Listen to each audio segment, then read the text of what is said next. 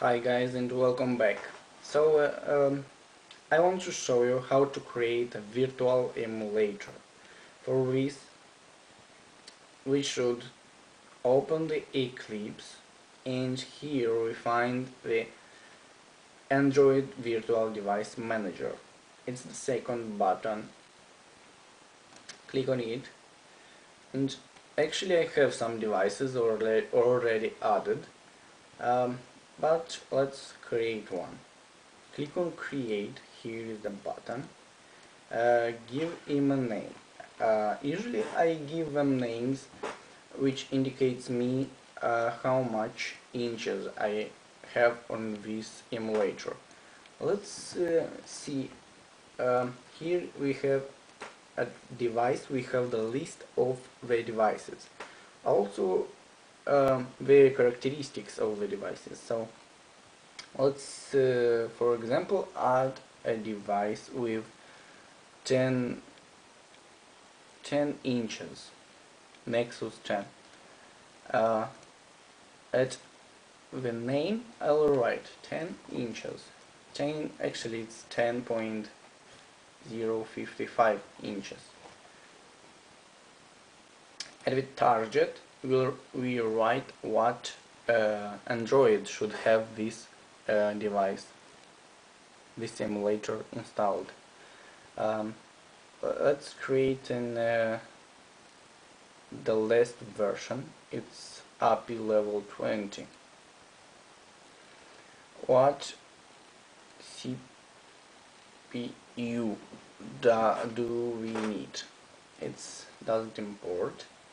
Um, should be hardware keyboard present or no let it be. Choose a skin HVGA or oh let it be.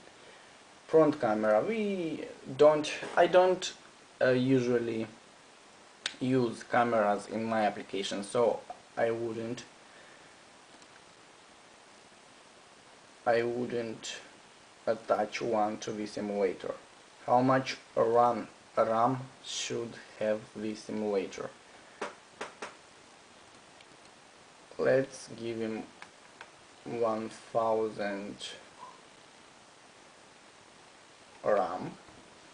Heap size. It should be uh, usually on uh, devices it's it's minimum 16 megabytes and it's very very very bad but uh, it's hard to create applications which use uh, images because uh, you can get heap size errors.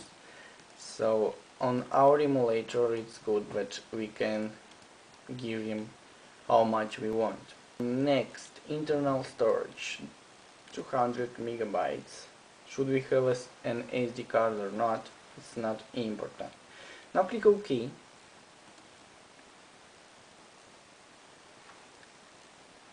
And our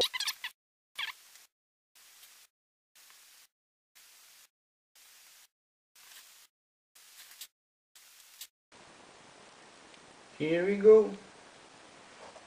We just created this one. Now we can use it as a virtual emulator and to test our applications on it. That's all. Thank you for watching. Have a good day.